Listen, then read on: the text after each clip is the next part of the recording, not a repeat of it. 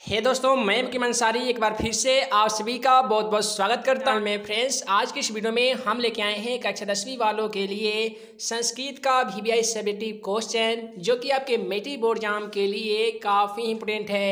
अगर आप इस पर मेटी का एग्ज़ाम देने वाले हैं तो वीडियो को शुरू से अंत तक ज़रूर देखिएगा। इस वीडियो के माध्यम से हम आप सभी को कक्षा दसवीं संस्कृत का ऐसे इंपोर्टेंट सब्जेक्टिव क्वेश्चन बतलाने वाले हैं, जो कि पिछले मेट्रिक एग्ज़ाम में बहुत बार पूछे गए हैं और आपके भी मेट्रिक एग्ज़ाम में पूछे जा सकते हैं। तो चलिए फ्रेंड्स, बिना समय गवाएँ पहला क्वेश्चन को देख लेते हैं। इससे पहले आपसे बता दें कि आप चाहते हैं कक्षा दसवीं का सभी सब्जेक्ट का इंपोर्टेंट ऑब्जेक्टिव तथा सब्जेक्टिव क्वेश्चन का पी फ्री में डाउनलोड करने के लिए तो वीडियो के डिस्क्रिप्शन बॉक्स में एक मोबाइल ऐप के साथ साथ एक वेबसाइट का लिंक दिया गया है, जिसका नाम है question for exam dot com तो आप जाके question for exam dot com पर आप अपना ऑनलाइन स्टडी करके अच्छे खासे मार्क्स ला सकते हैं। तो चलिए हम आप सभी को पहला क्वेश्चन दिखा देते हैं। हे दोस्तों, पहला जो क्वेश्चन है हमारा कि नीति श्लोका पाठ से लिया गया है, बोला गया है कि नीति श्लोका पाठ के आधार पर मूड चेटा, नराधम के लक्षणों को लिखें। चलिए हम आपसे बता देते हैं, काफ़ी सिंपल तरीके से इसका आंसर कि नीच मनुष्य का अभिप्राय निम्न जाति में जन्म लेने वाले से नहीं है। यहाँ पे जो बताया गया है, मूढ़, चेटा, नराधम, इसका मतलब ही होता है कि नीच प्रकृति का व्यक्ति। तो यहाँ पे बताया गया है कि नीच मनुष्य का अभिप्राय निम्न जाति में जन्म लेने वालों से नहीं है। सत्य और असत्य कर्मों के संलग्न रहने वाला मनुष्य की श्रेणी में नहीं आता है। जो बिना बुलाए किसी के सभा में प्रवेश करता है, बिना पूछे कुछ बोलता है ना ना विश्वास करने वाला पे भी वो अधिक विश्वास करता है। ऐसे व्यक्ति को ही मूढ़ चेता नराधम यानी नीच के श्रेणी में रखा जाता है। इसके बाद में अगला जो सवाल है हमारा क्वेश्चन दो में कि महान लोग संसार रूपी सागर को कैसे पार करते हैं? है दोस्तों तो क्वेश्चन का बिल्कुल सही जवाब लिखेंगे आप कि श्वेताश्वर उपनिषद में ज्ञानी लोग तथा अज्ञानिक लोग में अंतर स्पष्ट करते हुए महर्षि वेद व्यास कहते हैं कि अज्ञानी लोग और ज्ञानी लोग अंधकार तथा प्रकाश स्वरूप होते हैं। जिनके पास ज्ञान है, जो ज्ञानी लोग हैं, वो प्रकाश स्वरूप होते हैं। जो अज्ञानी लोग हैं, जिसके पास ज्ञान मौजूद नहीं है, वे अंधकार स्वरूप होते हैं। महान लोग इसे समझकर मृत्यु को पार कर जाते हैं, क्योंकि संसार रूपी सागर को पार करने का इससे बढ़कर इससे अच्छा कोई मार्ग नहीं है। है दोस्तों, अगला सवाल है कुछ चार में कि महात्मा बुद्ध के अनुसार वैर की शांति कैसे संभव है? तो महात्मा बुद्ध के द्वारा वैर की जो शांति है, वो कैसे संभव हो सकती है? तो क्वेश्चन का बिल्कुल सही जवाब लिखेंगे आप कि महात्मा बुद्ध के अनुसार वैर की शांति निर्वर करुणा मैत्री भाव से ही संभव हो सकती है। ये किसके माध्यम से बताया जा रहा है? तो महात्मा बुद्ध के अनुसार बताया जा रहा है कि आखिर वैर की शांति कैसे संभव हो सकती है। उसके बाद में अगला सवाल है हमारा क्वेश्चन पाँच में कि वेदांग संख्या में कितने हैं? आज सभी को बता दें कि वेद जो होते हैं, वेद चार प्रकार के होते हैं। वहीं पे हम लोग बात करते हैं वेदांग के बारे में। तो वेदांग जो होते हैं, वेदांगों की संख्या छः होती है। तो क्वेश्चन का बिल्कुल सही जवाब लिखेंगे आप कि वेदांग छः होते हैं। वे शिक्षा, कल्प, अव्याकरण, निरुक्त, छंद और ज्योतिष हैं। आपसे बता दें कि शिक्षा उच्चारण प्रक्रिया का ज्ञान कराती है। कल्प सूत्रात्मक कर्मकांड ग्रंथ है। व्याकरण, वर्ण, शब्द, वाक्य इत्यादि का अध्ययन कराता है। यानी हमें ज्ञान दिलाता है। निरुक्त का कार्य जो है वो वेद के अर्थ का बोध कराना है। छंद का सूत्र एक ग्रंथ है। ज्योतिष वेदांग जो है वो ज्योतिषी के लिए, ज्योतिषी के लिए एक प्रकार का ग्रंथ है। अगला जो सवाल है, क्वेश्चन छः में कि स्वामी दयानंद सरस्वती ने शिक्षा व्यवस्था का वर्णन करे। यानी स्वामी दयानंद सरस्वती का जो शिक्षा व्यवस्था थी उसके बारे में आज सभी क्या जानते हैं, वही इस क्वेश्चन में आज सभी को लिखना होगा। तो क्वेश्चन का बिल्कुल सही जवाब लिखेंगे आप कि स्वामी दयानंद सरस्वती ने अपनी शिक्षा से अभिप्रेरित होकर समाज में नई शिक्षा प्रणाली को प्रोत्साहित किया, यानी विकसित किया। आपसे बता दें कि वैदिक साहित्य के साथ साथ पाश्चात्य विज्ञान शिक्षा को आवश्यक मानते हुए नई शिक्षा प्रारंभ की, यानी नई शिक्षा नीति की शुरुआत की किसने? तो स्वामी दयानंद सरस्वती ने। उन्होंने अपनी शिक्षा में स्त्री शिक्षा छुआछूत बाल विवाह और कर्म कांड को निषेध किया, यानी रोक किया। अब एक बार फिर से समझ लीजिए कि स्वामी दयानंद अपनी शिक्षा से अभिप्रेरित होकर समाज में नई शिक्षा प्रणाली को प्रोत्साहित किया, यानी विकसित किया, यानी उसे बढ़ावा दिया। वैदिक साहित्य के साथ साथ पाश्चात्य विज्ञान शिक्षा को आवश्यक मानते हुए उन्होंने नई शिक्षा प्रणाली, यानी नई शिक्षा व्यवस्था की शुरुआत की, यानी आरंभ की। उन्होंने अपनी शिक्षा में स्त्री शिक्षा, यानी स्त्रियों के लिए, औरतों के लिए शिक्षा, छुआछूत पहले क्या होता था कि स्वामी दयानंद सरस्वती के जो उस समय काल चल रहे थे, उस समय में छुआछूत बहुत ज़्यादा बढ़ गया था। एक लोग दूसरे लोग को अपने से नीच मानते थे, उनसे छुआछूत करते थे। उसके बाद में बाल विवाह, यानी बाल विवाह का मतलब छोटे छोटे बच्चों और लड़कों तथा लड़कियों का जो बाल विवाह होता था, उस पर इन्होंने रोक लगाया। कर्म कांड मूर्ति पूजा पे इन्होंने रोक लगाया था, निषेध किया, यानी उस पर रोक किया अगला जो सवाल है, भारत महिमा पाठ से लिया गया है, बोला गया है कि भारत महिमा पाठ के आधार पर भारतीय मूल वाक्यों के भारतीय मूल्यों की विशेषताओं पर प्रकाश डालें। भारत महिमा जो पाठ है, उसके माध्यम से आज सभी को भारतीय मूल्यों की विशेषताओं को प्रकाश डालना है। क्वेश्चन का बिल्कुल सही जवाब लिखेंगे आप। कि भारत का प्राकृतिक संदर्भ स्वर्ग सा है। भारत का जो प्रकृति वातावरण है ना, वो स्वर्ग के जैसा है। यह देवताओं, ऋषियों एवं महापुरुषों की अवतरण भूमि है। ये जो भारत अपना जो जन्मभूमि है ना, ये देवताओं तथा ऋषियों का तथा महापुरुषों की अवतरण जन्मभूमि है। इसकी महिमा का वर्णन विष्णु पुराण एवं भागवत पुराण में देखने को मिलता है। आप सभी अगर विष्णु पुराण तथा भागवत पुराण को देखें तो उसमें ये सभी ऋषियों तथा महापुरुषों के साथ साथ देवताओं का भी वर्णन देखने को आप सभी को मिलेगा। आपसे बता दें कि भूमि पर अवतरित होने वाला मनुष्य निश्चित, निश्चय ही धन्य होता है। जो भी इंसान भारत की जन्मभूमि पर अवतरित होता है, यानी आता है, यानी जन्म लेता है वह मनुष्य निश्चय ही धन्य मनुष्य होता है, यानी भाग्यशाली मनुष्य होता है।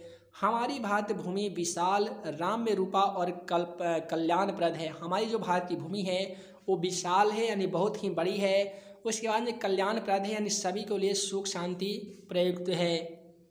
उसके बाद में आप सभी लिखेंगे, अत्यंत शोभनीय और संसार का गौरव भारत हम सबों के द्वारा सदैव पूजनीय है, यानी हम सबों के द्वारा हमेशा पूजनीय है कौन तो भारत की भूमि। यह जाति, धर्म के भेदों को भुलाकर एकता एवं सहिष्णुता का पाठ पढ़ाती है। हमारा जो भारत की जन्मभूमि है, वो एक दूसरे से छुआछूत को मिटाती है। जाति भेदभाव, संस्कृति तथा धर्म को भेदभाव को मिटाकर सभी को एक साथ रहने, खाने, पीने और एक साथ संस्कृति में अपने आप में रहने की एक एकता की भावना पैदा करती है। कौन तो हमारी भारत की मिट्टी यानी भूमि? हम भारतीय सदस्य कहते हैं वसुधव कट कटुम्बकम अर्थात संपूर्ण पृथ्वी ही हमारा संपूर्ण संसार है।